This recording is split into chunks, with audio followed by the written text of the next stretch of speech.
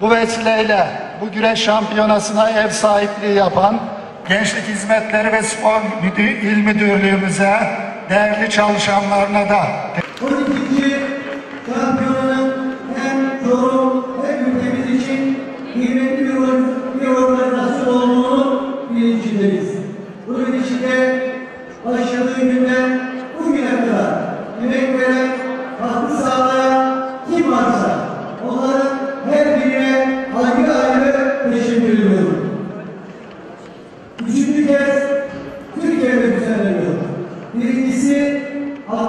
68 yılında İstanbul'da.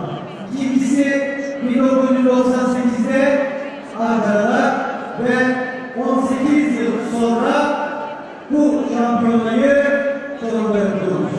Yani üçüncü kez Çorum Türkiye'yi dünyada temsil ediyor diyebiliriz.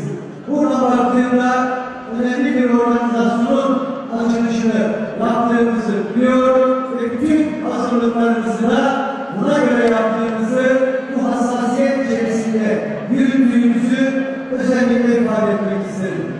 Türkiye için güreş ne kadar önemliyse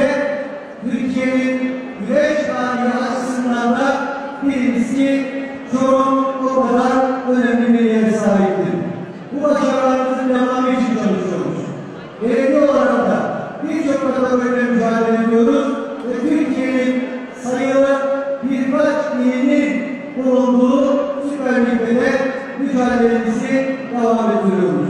Var